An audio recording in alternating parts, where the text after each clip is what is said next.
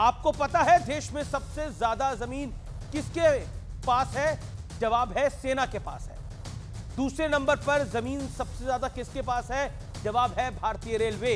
लेकिन क्या आप जानते हैं कि तीसरे नंबर पर कौन आता है जिसके पास सबसे ज़्यादा ज़मीन है? लैंड बैंक है, क्योंकि ये तीसरे नंबर वाला ना कोई मंत्रालय है, ना कोई सरकारी विभाग और ना कोई प्राइवेट कंपनी। ये तीसरे नंबर वाला है वक्फ बोर्ड। ये वक्फ बोर्ड की हैसियत है। अब जरा वक्फ बोर्ड की ताकत भी जान लीजिए। ये किसी भी संपत्ति पर अपना दावा ठोक सकता है और इसके खिलाफ कोई भी सिविल कोर्ट में अपील भी नहीं कर सकता। यानी विवाद हुआ तो फैसला सुनाने का अधिकार भी इसी बोर्ड के ट्रिब्यूनल के पास है। मतलब यह है कि जाँच का अधिकारी भी इनका, अदालत भी इनकी, जज भी इनका और फैसला भी इनका। और ये खुद हर चीज़ का डिसीज़न लेते हैं, लेकिन मोदी सरकार ने इसकी ताकत पर कैची चलाने की तैयारी शुरू कर दी है। तो सियासी बवाल मच गया है। कांग्रेस कह रही है कि चुनाव में फ़ायदे के लिए मोदी सरकार यह बिल लेकर आई है। ओवैसी कह रहे हैं कि बीजेपी मुसलमानों की बड़ी दुश्मन है और अखिलेश यादव की पार्टी के सांसद मुहिबुल्ला नदवी तो दो कदम आगे निकलते हुए चुनौती दे रहे हैं कि कुरान में क्या लिखा है इस्लाम में क्या लिखा है यह आप तय कर ही नहीं सकते, न मैं तय करूँगा। यही नहीं, उकसाने वाली भाषा में वो कह रहे हैं कि कहीं ऐसा ना हो कि जनता अपने हकों के लिए और संविधान की रक्षा के लिए सड़कों पर आ जाए। सवाल है कि वक्त बोर्ड की आड़ में वोट बैंक वाला खेल शुरू हो गया है। आज इसी पर होगी देश की सबसे बड़ी पॉलिटिकल बहस। वक्त की ज़मीन खिसकने वाली है। और क्या वाकई वक्त की जो ताकत है, वो अनलिमिटेड है, उसको लिमिटेड करना बड़ा आवश्यक है।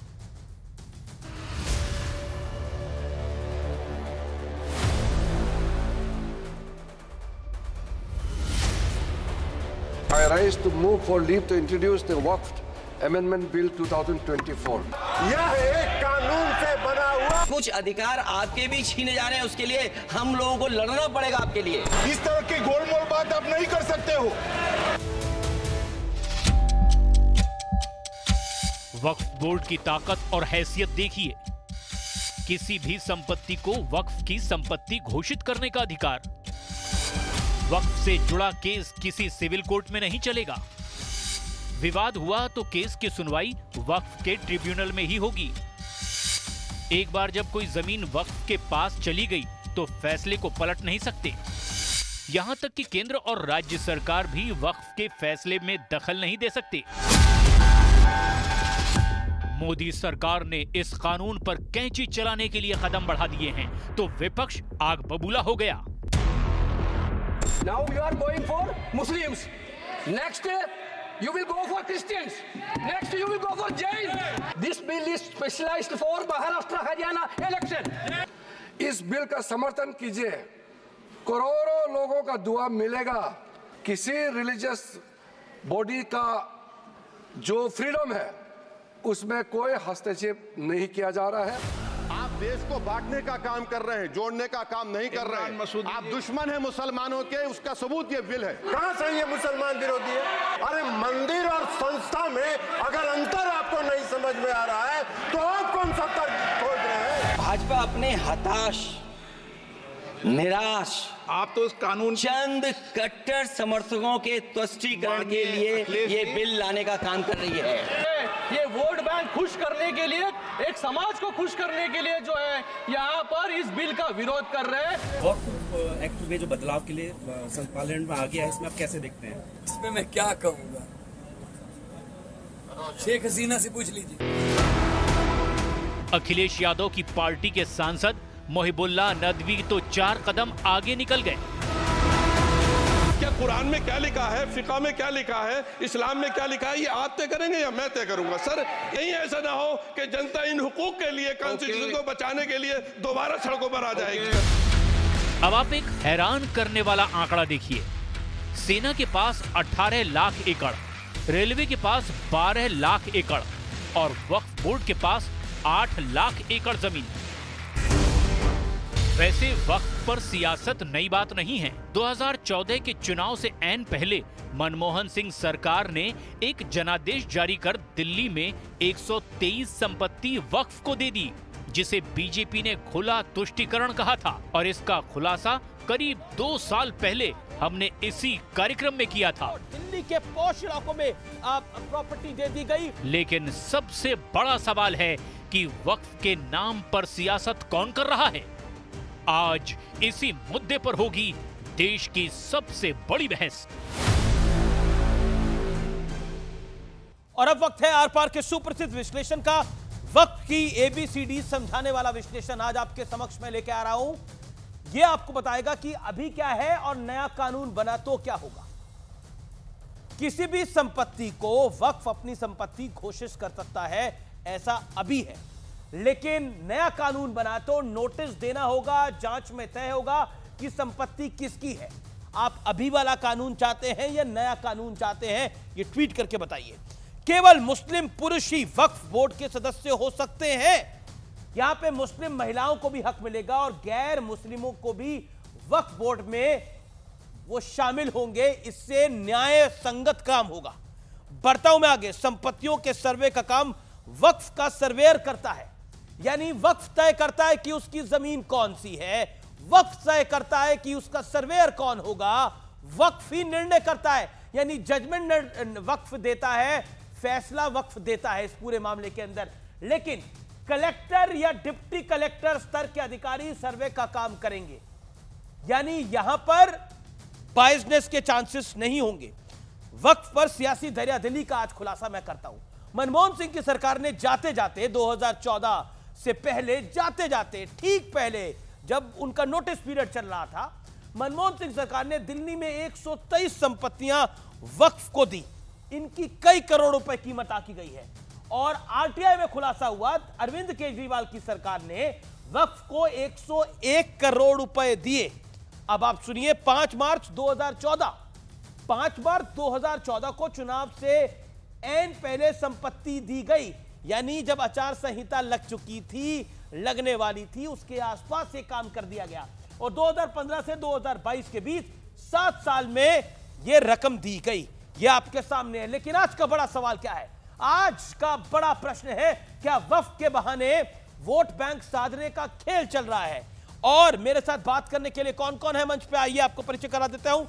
शहजाद पूनावाला, बीजेपी के राष्ट्रीय प्रवक्ता मेरे साथ इस चर्चा में जुड़ रहे हैं। मेरे साथ वारिस पठान है, साजिद रशीदी है, मेरे साथ इस चर्चा में रिजवान अहमद है, मेरे साथ अज़ीज़ खान है, समाजवादी पार्टी के नेता। मैं सबसे पहले वारिस पठान आपके पास आता हूँ, मैं कहीं और नहीं जाता। ऑब्जेक्शन क्या है आप लोगों की? क्योंकि अगर कानून न्याय संगत होगा और आप तो संविधान के इतने बड़े प्रोधा अपने आप को मानते हो और बार बार संविधान की बात करते हो तो संविधान ही, संविधान से अगर वक्फ भी चलेगा तो हर्ज क्या है? देखिए, ये जो वक्फ अमेंडमेंट बिल सरकार ने इंट्रोड्यूस किया है, जो अभी जेपीसी के पास गया है चर्चा के बाद, ये बिल पर से इलीगल है, असंवैधानिक बिल है। ये आर्टिकल 14 आर्टिकल 15 आर्टिकल 26 का वायलेशन है, ये डिस्क्रिमिनेटरी है। ये बिल राइट टू प्रैक्टिस जो रिलीजन है, उसके विरुद्ध में है। ये सब असंवैधानिक बिल है। इस वजह से हमारी आपत्ति ऑब्जेक्शन है। हमने तो ये कहा था कि बिल को विड्रॉ कर लिया जाए, पर जेपीसी पे गया, अच्छी बात है। बात नंबर दो, अभी आपने बहुत सारी चीज़ बताई कि आपत्ति के, अभी आपका हिंदू एंडोमेंट बोर्ड है कर्नाटक का, तमिलनाडु में। उसमें क्या किसी मुसलमान को आप एंट्री दे सकते? नहीं दे सकते। हमारे सिख भाइयों का है सिख प्रबंधक कमेटी। उसके अंदर सिर्फ़ सिख हिस्सा ले सकता है, कोई बाहर वाला आदमी आके नहीं ले सकता, मुसलमान नहीं आ सकता। तो सरकार को मुसलमानों के ही अंदर क्यों आना है? क्यों वक्फ के अंदर सरकार को इंटरफेयर करना है?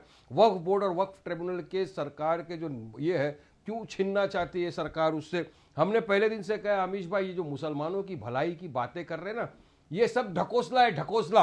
अगर मुसलमानों की इतनी फ़िक्र होती तो सरकार खामोश जब क्यों बढ़ जाती जब मुसलमानों के घरों को बिना नोटिस दिए बुलडोजर के विषय में बड़ी बड़ी चर्चा कर चुका हूँ आज वक्त के विषय में चर्चा करेंगे। कर दी जाती आपने बोला आपने बोला ये क्यों खामोश बैठती है? सरकार सरकार हक और हकूक की बात नहीं कर रही मैं आपसे प्रश्न पूछता हूँ मैं आपसे प्रश्न पूछता हूँ देखिए बड़े महत्वपूर्ण सरकार की नीयत में खोट है। मुसलमानों की ज़मीन छीनना चाहती है सरकार। मुसल एक एक एक कैबिनेट में एक भी मुसलमान मंत्री क्यों नहीं है? वक्त तो कई मुसलमानों की ज़मीन भी छीन रहा है।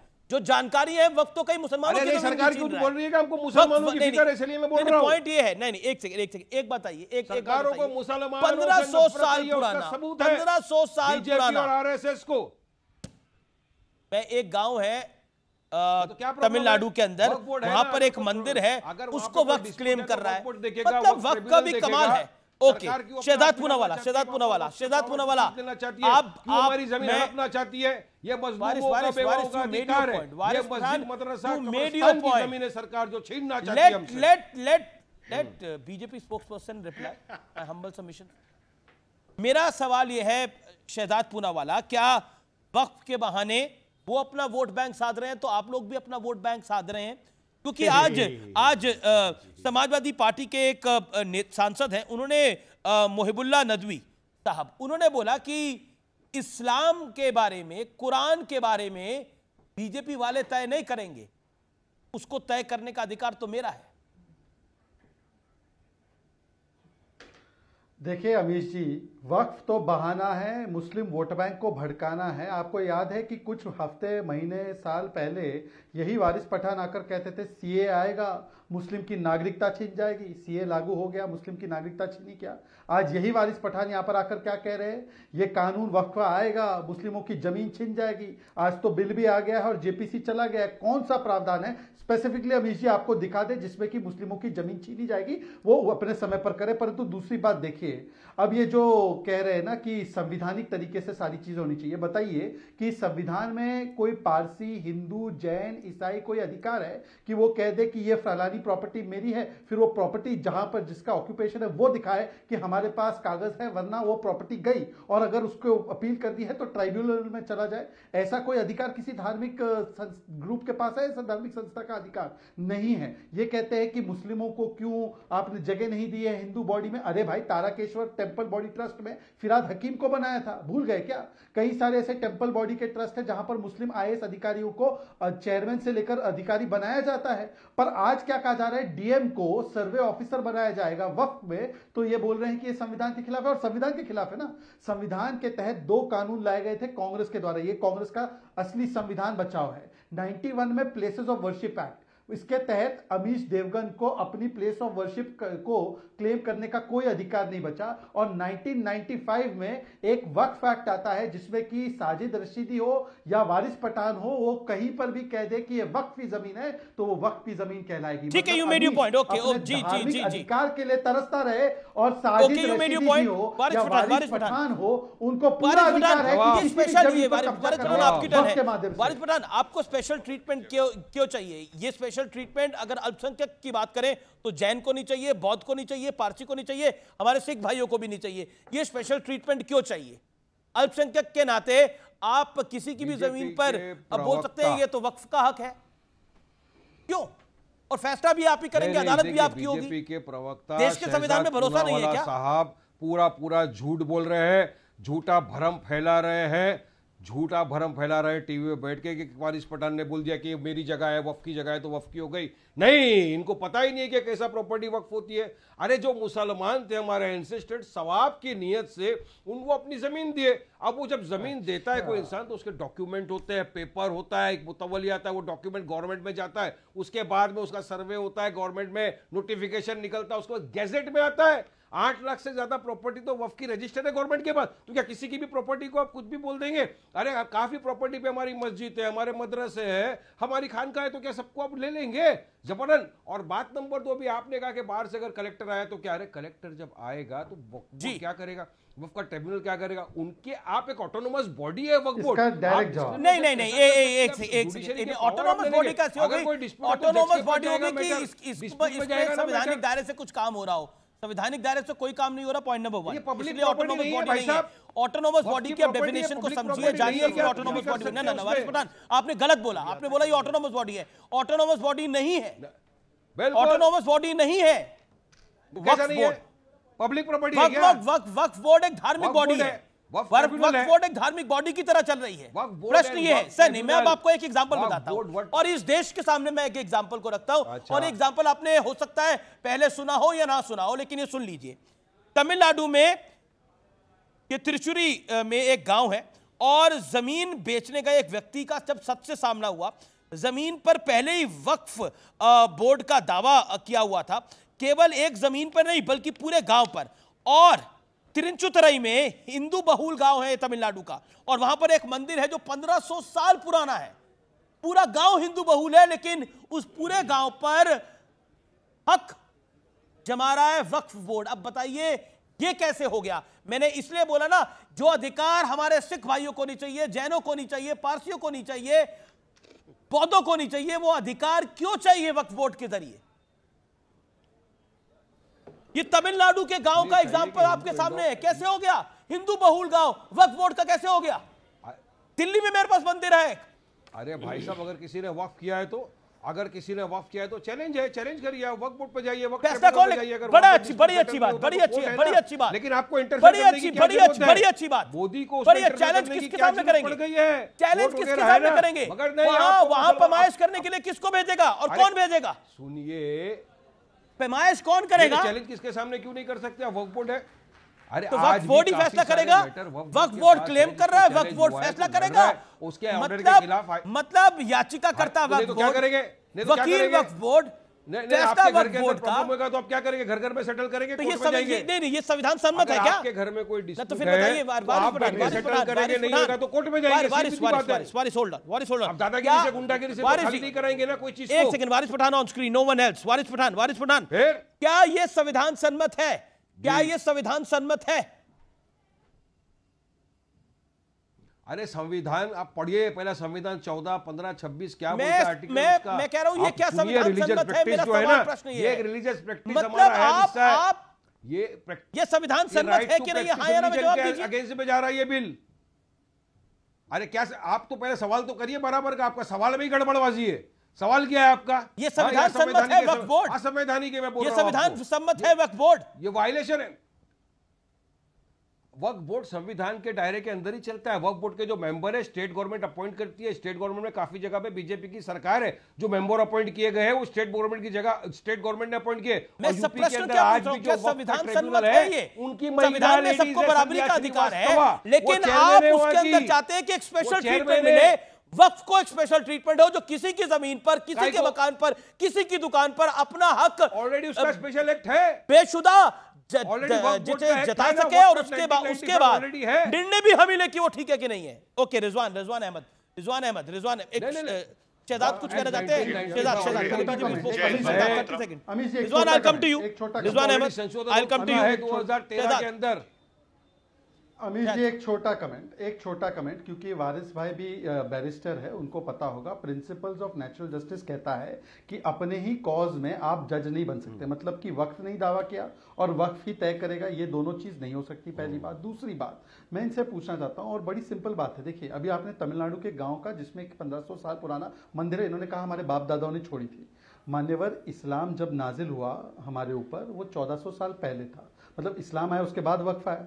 तो वक्फ आने से पहले ही 1500 साल पुराना मंदिर कैसे आ गया उसके अंदर? थोड़ा कॉमन सेंस की बात करो। मैं ये नहीं कह रहा मुस्लिम मुस्लिम तो शायद ये लोग मानते हैं कि पहला आदमी मुस्लिम पैदा हुआ वो अलग विषय है। सुनिए सुनिए सुनिए मेरी बात बीच में मत काटिए। मेरी बात हो जाने दीजिए। मेरी बात हो जाने दीजिए। मेरी बात हो जाने दीजिए उसके बाद काटिए। उसके बाद आप अपनी बात कीजिए। नहीं नहीं अमित जी अमित जी मैं एक लॉजिकल बात कर रहा हूँ। प्लीज़ थोड़ी सी बात समझने की कोशिश कीजिए। 1400 साल पहले प्रॉफिट मोहम्मद नबी मोहम्मद के समय पर इस्लाम हमारे पे नाजिल हुआ। उसके बाद ही सारे इस्लामिक लॉ है उसमें मतलब कि 1500 साल पुराना मंदिर कैसे क्लेम हो गया वक्त में? जब वक्त आया ही 1400 साल के बाद के। दूसरी बात, ताजमहल क्लेम कर दिया आपने, मान्यवर। तो ताजमहल जब क्लेम कर दिया हाँ। आपने कि सुन्नी वक्फ बोर्ड का है तो जज ने पूछा कि बताओ कि शाहजहां का डॉक्यूमेंट मुमताज़ के लिए छोड़ा था या ये वारिस पठान के लिए छोड़ा था? तो वारिस पठान बता नहीं पाए डॉक्यूमेंट फिर तीसरा आपने गुजरात में सूरत में म्यूनिसिपल हेडक्वार्टर को क्लेम कर दिया। फिर आपने छत्तीसगढ़ में तहसील ऑफ़िस को क्लेम कर दिया। अरे ये रुकेगा कहा? ये लैंड ग्रैबिंग रुकेगा कहा भाई? ये लैंड ग्रैबिंग रुकेगा कहा? आज लैंड ग्रैबर्स वर्सेस मुस्लिम है। आप लैंड ग्रैबर्स के साथ हैं और ये लोग एक एक एक एक आप लैंड ग्रैबर्स के कोई है तो वह उसको केस लड़के हटाएगा बीजेपी सरकार उसको सपोर्ट करना चाहिए समारी पावर देना चाहिए कि ठीक है आपको समारी पावर देते आप लैंड ग्रैबर को हटाओ। मुझे मुझे जमीनों के ऊपर तो एक एक करके सबका रुख करना पड़ेगा। Aziz Khan Aziz Khan Aziz Khan Aziz Khan then then Rizwan Ahmed Aziz Khan. अज़ीज़ खान एक आखिरी मतलब आपके एक सांसद कह रहे हैं कि सड़कों पर उतरना पड़ेगा इस पूरे विषय के लिए। हक और हकूक के लिए हो सकता है लोगों को सड़कों पर उतरना पड़े। देखिए अमीश भाई। ऐसा क्या हो गया है? ये हक और हकूक बाकी अकलियतों को नहीं चल रही है सिखों को नहीं चाहिए फिर जैनों को नहीं चाहिए बौद्धों को नहीं चाहिए पारसियों को नहीं चाहिए।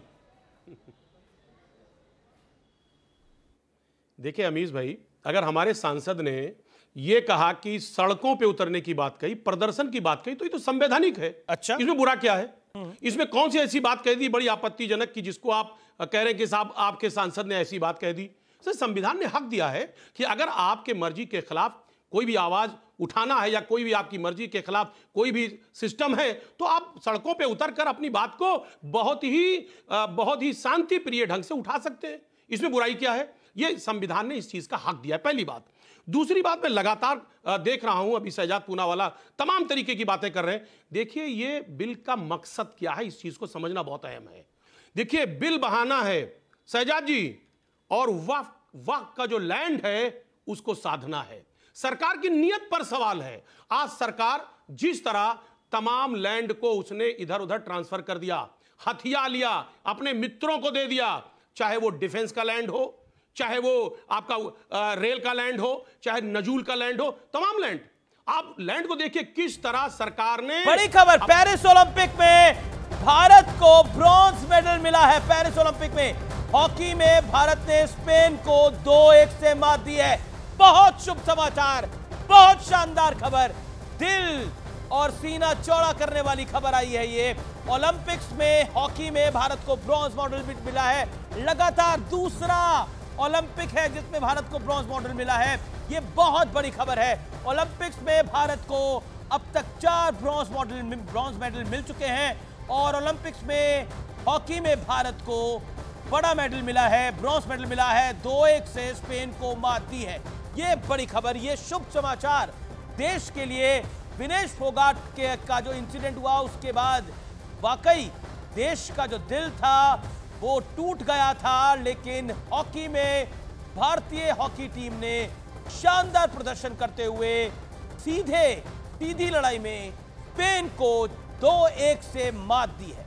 ये बहुत बड़ी खबर है और ओलंपिक्स में भारतीय हॉकी टीम का लगातार ये दूसरे ओलंपिक में शानदार प्रदर्शन जारी है।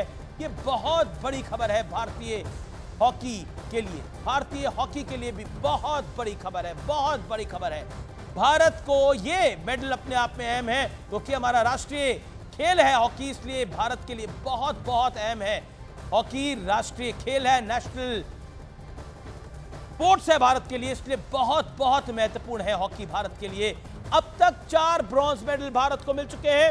ओलंपिक्स में हॉकी ओलंपिक्स में, हॉकी में भारत को ब्रॉन्ज मिला है, ये बहुत बड़ी खबर है।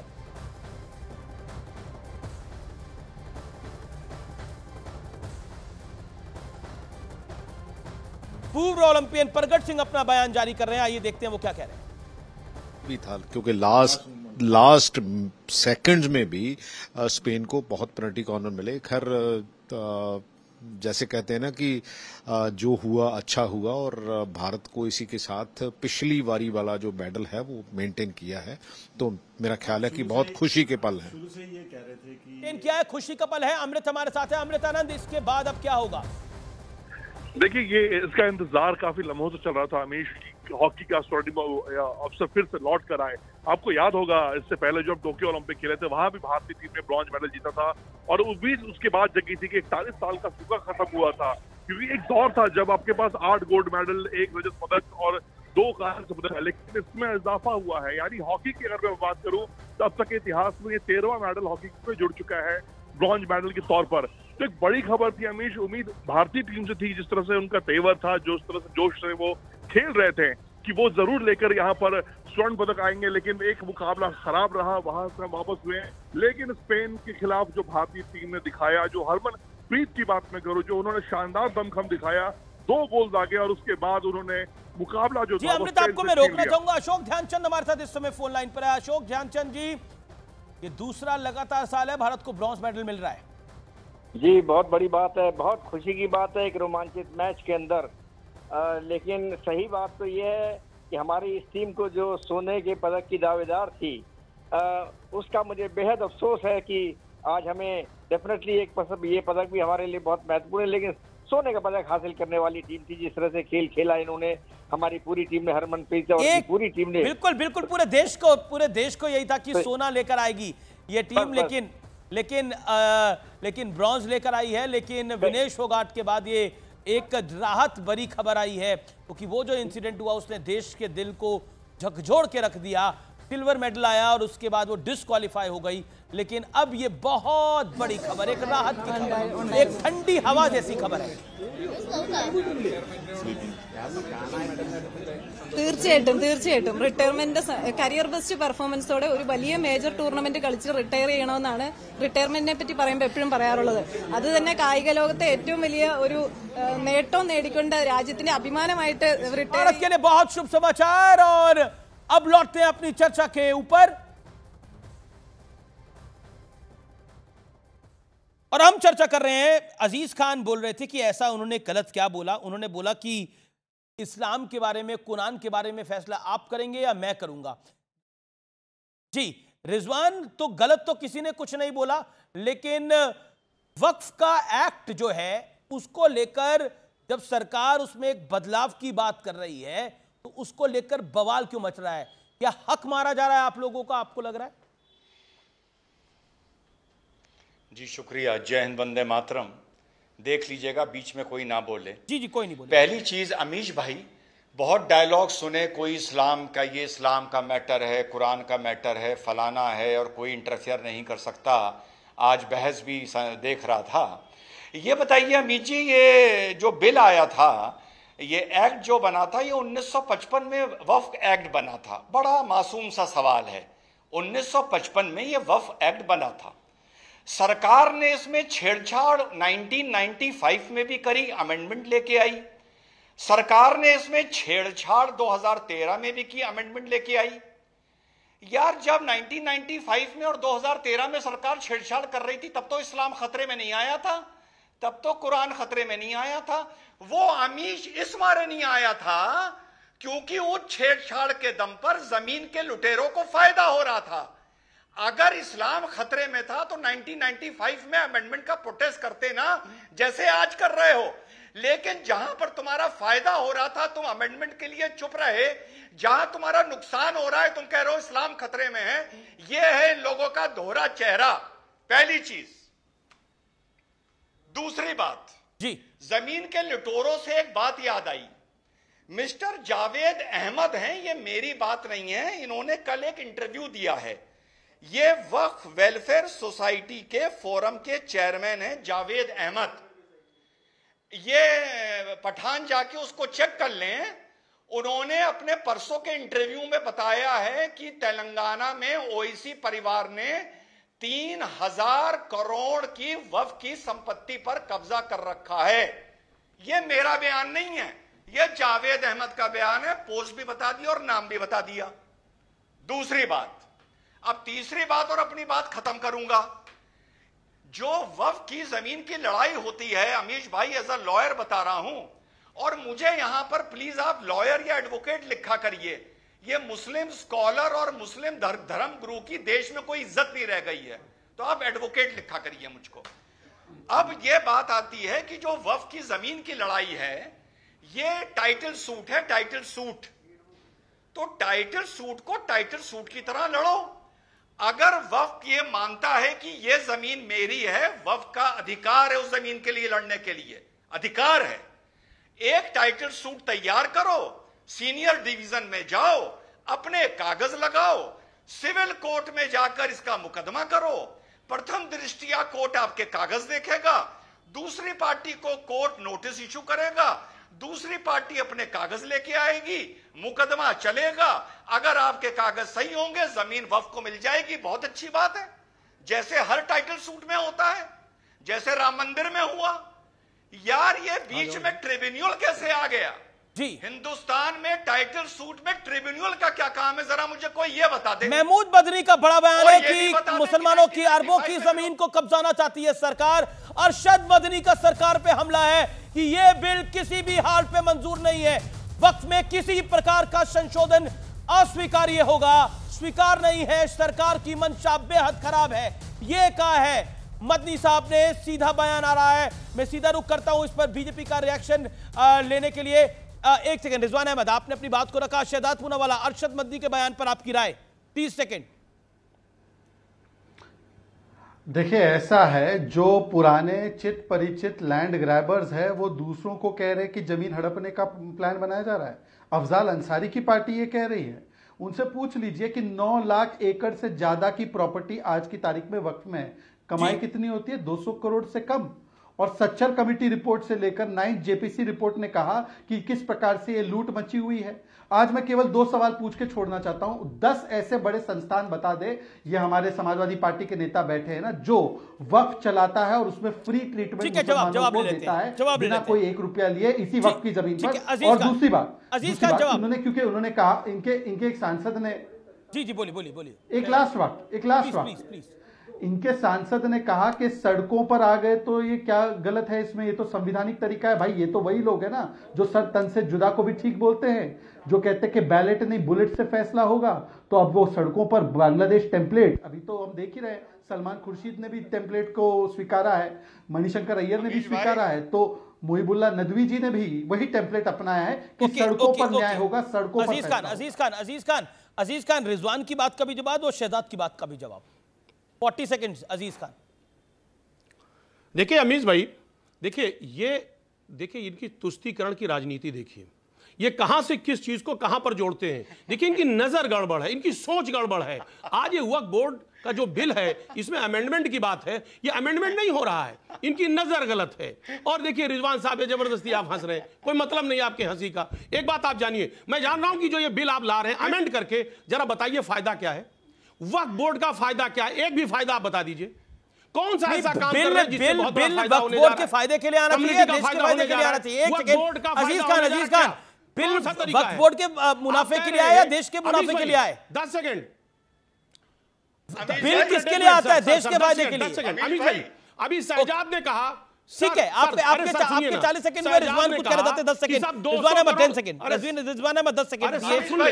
सर सर भाई, मुझे 10 सेकंड दे दें बात कर ले। मैं आपको मौका दे रहा हूँ अज़ीज़ भाई, मौका दे रहा हूँ आपको। रशीदी साहब भी बचे हुए हैं अभी बोलने के लिए।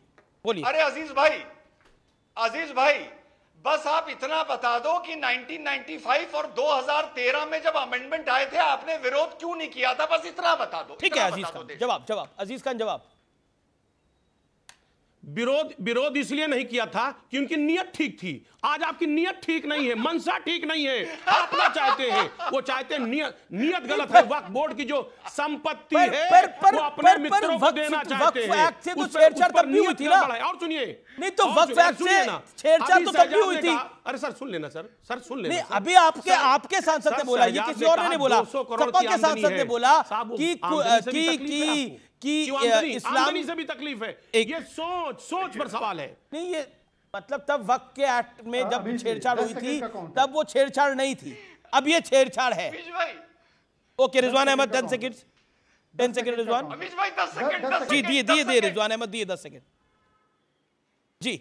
अमीश भाई इसका मतलब आज अज़ीज़ खान साहब ये बोल रहे हैं कि ये नियत पर और एक प्रिजम्पशन के मारे विरोध कर रहे हैं और किसी तर्क के आधार पर विरोध नहीं कर रहे हैं।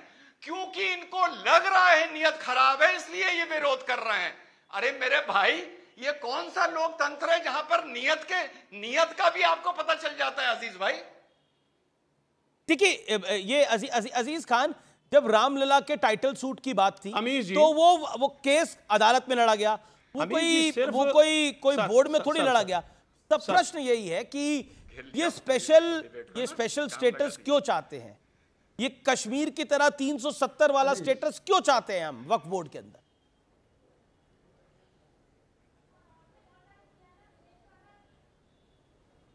लगता है आवाज़? ओके साजिद रशीदी कुछ कहना चाहते हैं। साजिद रशीदी ये स्पेशल स्टेटस क्यों? साजिद रशीद जी ये स्पेशल स्टेटस क्यों? आवाज़ गई।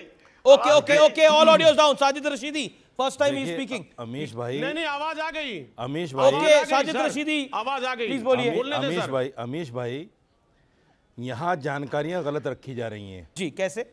कुछ लोग ये कहते हैं कि साहब 1955 में एक्ट बना। 1955 में नहीं बना वक्फ एक्ट बना है उन्नीस सौ चौवन में। 1923 में बना। उन्नीस सौ चौवन में बना।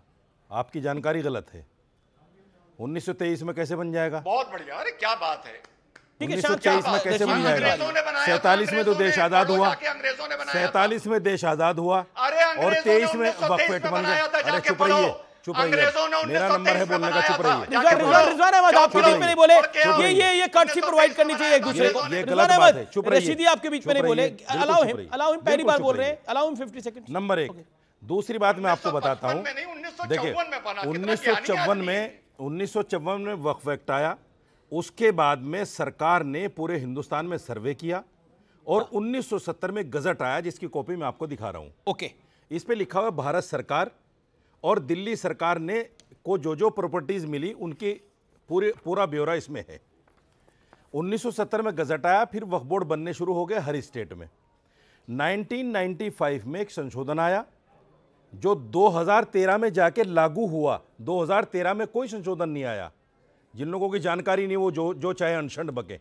19 1995 में संशोधन आया 2013 में जाके उस पर अमेंडमेंट आया। उस पर अमल दरामद हुआ। उस दिन कोई संशोधन नहीं हुआ। नंबर एक, उस संशोधन में सिर्फ़ एक पावर वक्फ बोर्ड को दी गई कि दिल्ली वक्फ बोर्ड का जो भी सीईओ रहेगा, उसको इतनी पावर रहेगी कि वो 54 का नोटिस देकर अपनी जो भी प्रॉपर्टी उसकी ऑक्युपाइड है नाजायज कब्जे में है उनको छुड़ा सकता है एसडीएम के माध्यम से और दिल्ली पुलिस के माध्यम से। जी।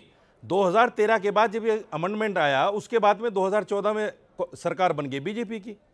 उसके बाद में जितने भी केसेस हैं ना एसडीएम ने कोई समर्थन किया वक्फ बोर्ड का ना दिल्ली पुलिस ने किया और कोई भी संपत्ति दिल्ली वक्फ बोर्ड अपनी नहीं ले मतलब कब्जे होना बंद हो गए। आप कह रहे हैं कि मतलब फिर नहीं, नहीं। 2014 के बाद जब नरेंद्र मोदी की सरकार आई तो। फिर जो आप चाहते थे उस तरह के कब्जे नहीं हो नहीं नहीं नहीं नहीं। आप गलत आप गलत मेरी बातों और, और मेरे मेरे प्रश्न का भी जवाब अगर दे देते ये स्पेशल प्रिविलेज क्यों चाहिए जनाब मैं बता रहा हूँ मैं बता रहा हूँ स्पेशल ट्रीटमेंट क्यों चाहिए जनाब को? सुनिए सुनिए मैं बता मैं बता रहा हूँ। जी। देखिए ये मेरे मेरे हाथ में एक और पेपर है। हाँ ये आठ दस पन्नों का पेपर है जी। और इसमें दिल्ली के अंदर जो प्रॉपर्टी है वक्फ बोर्ड की उनमें सब चिन्हित हैं जो और ये डॉक्टर मनमोहन सिंह की कांग्रेस की सरकार आपको रिटर्न गिफ्ट देके गई थी पाँच मार्च 2014 का गजट भाई सुन लो मेरे भाई ये 1970 का गजट है जी। मैं 2005 की बात नहीं कर रहा हूँ 1970 का गजट मैं है 2014 की बात कर रहा हूँ चौदह को छोड़िए। चौदह को छोड़िए ये जी। 1970 का गजट मैं आपको दिखा रहा।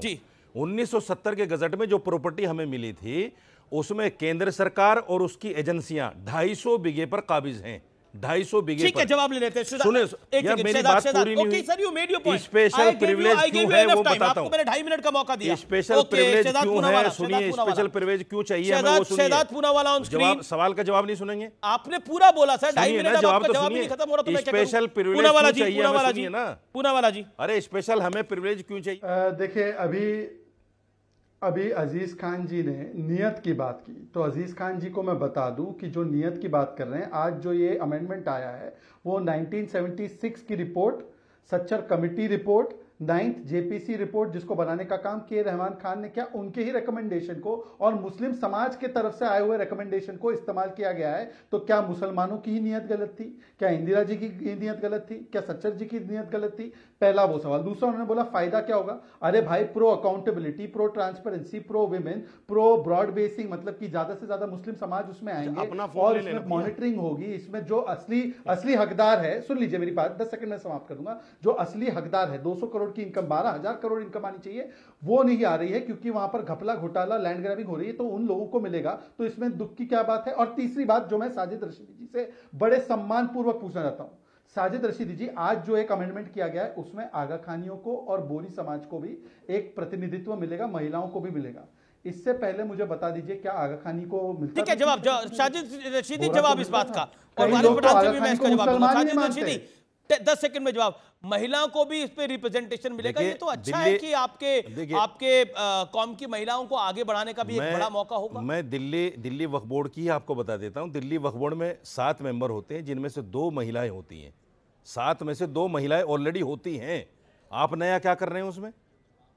क्या नया कर रहे हैं आगा खानी आगा खानी। और उसमें शिया उसमें शिया बरेलवी सुन्नी सारे लोग आते हैं। ऐसा नहीं है कि उसमें कोई नहीं आता। अच्छा। ये। गलत ये गलत ये गलत परसेप्शन आप लोगों में तो- फैलाना चाहते तो हैं कि साहब तो ये फिर हो रहा है हम ऐसा करेंगे।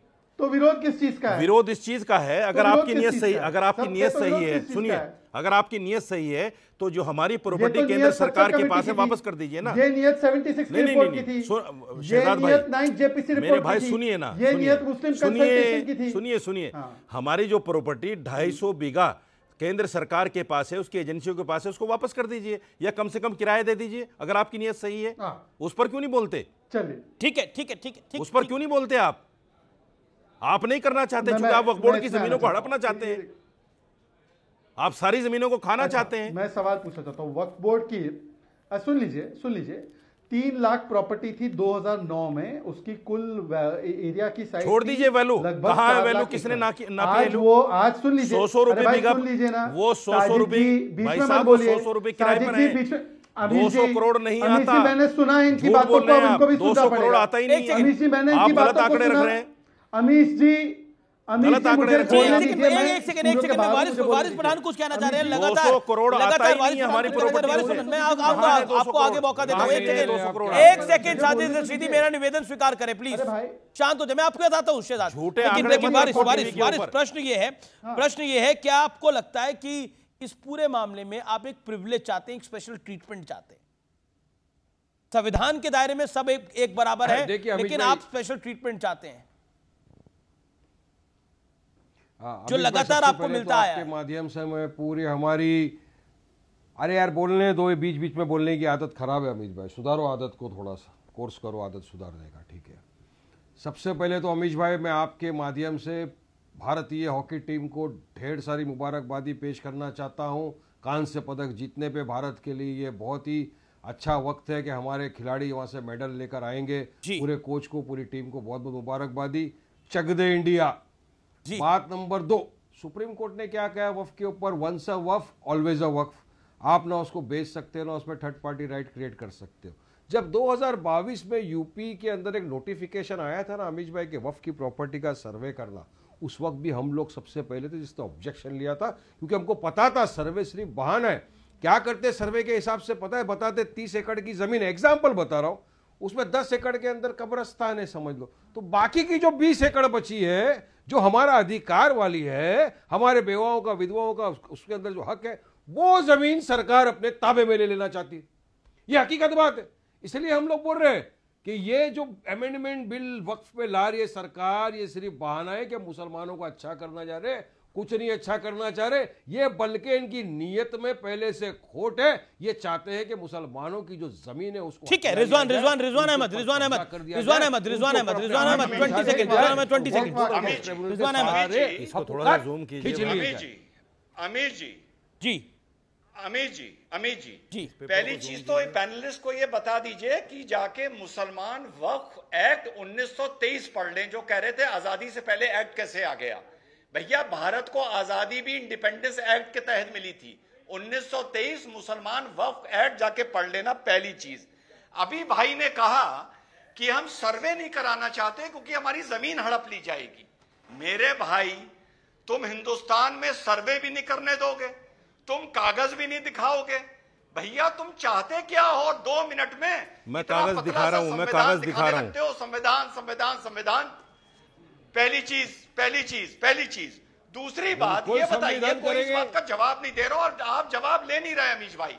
आप जवाब ले नहीं रहे कि सीधी सीधी जैसे टाइटल सूट की लड़ाई होती है जी जी। वक्फ बोर्ड सिविल कोर्ट जाकर अपने टाइटल सूट की लड़ाई ज़मीन के ये लिए बड़ा बड़ा? महत्वपूर्ण पॉइंट है कि और सीधे सीधे? सिविल सवाल कोर्ट जाकर टाइटल सूट की लड़ाई क्यों नहीं होनी चाहिए फैसला जज बता रहा हूँ। और और पूरी प्रणाली वक्फ की क्यों चलेगी ये जायज़ बात है ये हर हिंदुस्तानी के मन में बात होगी वैसे कहते हैं संविधान के संविधान के आगे सब बराबर है लेकिन इसी संविधान के दायरे में आप एक स्पेशल ट्रीटमेंट चाहते हैं और ये स्पेशल ट्रीटमेंट का सबसे बड़ा एग्ज़ाम्पल है